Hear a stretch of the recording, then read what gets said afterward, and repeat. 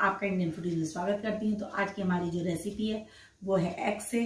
तो एग से मेरे को रेसिपी वैसे मिल नहीं रहा था। बहुत सर्च करने के बाद से गूगल पर मेरे को चाइनीज़ भाषा में वाटरमेलन को जिगुआ बोलते हैं। तो चलिए जिगुआ बनाते हैं जिगुआ जूस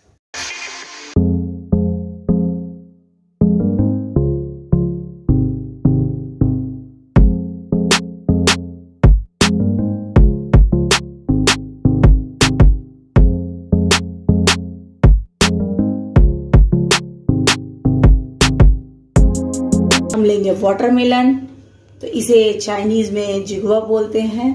तो चलिए इसको काटते हैं पहले।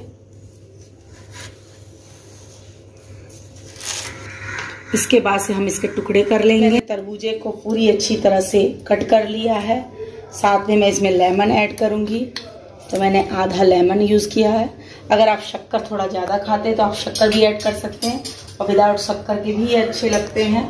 साथ में ब्लैक ब्लैक नमक मैं डालूँगी, आधा चम्मच। ये बहुत ही फ्रेश लगेगा और ताजगी अच्छी तरह से आ जाती है। साथ में मैं मिंट डालूँगी।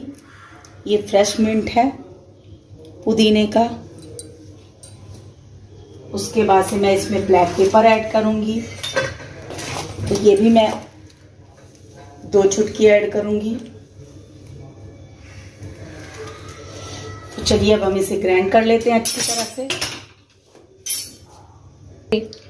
तो मैं इसमें शुगर आपको मन करेगा तो आप ऐड कर सकते हो, क्योंकि मोस्टली ये थोड़ा हल्का मीठा होता है। अगर आपको ज़्यादा मीठा चाहिए तो आप शक्कर भी ऐड कर सकते हो। मैंने नहीं किया है। और अब हम इसे ग्राइंड करते हैं। तो ये हमारे अच्छी तरह से पिस चुके हैं। और अब मैं इसे छान लूँगी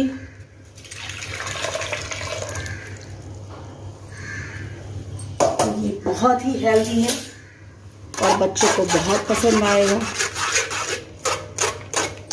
चलिए स्टार्ट करते हैं। तो सबसे पहले मैं बर्फ़ ऐड कर दूँगी। साथ में मैं मिंट ऐड करूँगी उसमें। उसके बाद से जो हमने तरबूजा था, वो हम ऐड करेंगे। तरबूजे का जूस यानी जिगुआ।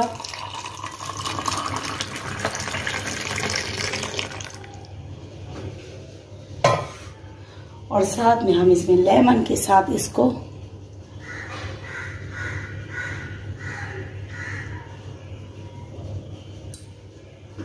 तो जिगुआ हमारा रेडी है और इसे आप घर पे ज़रूर ट्राई करिए और पी के बताइएगा कि आपको कैसा लगा। तो अगर आपको मेरा ये वीडियो पसंद आया हो तो लाइक करें सब्सक्राइब करें शेयर करें बेल आइकन के बटन दबाएँ ताकि जो भी मैं बनाती रहूँ वो आपको अप टू डेट मिलता रहे।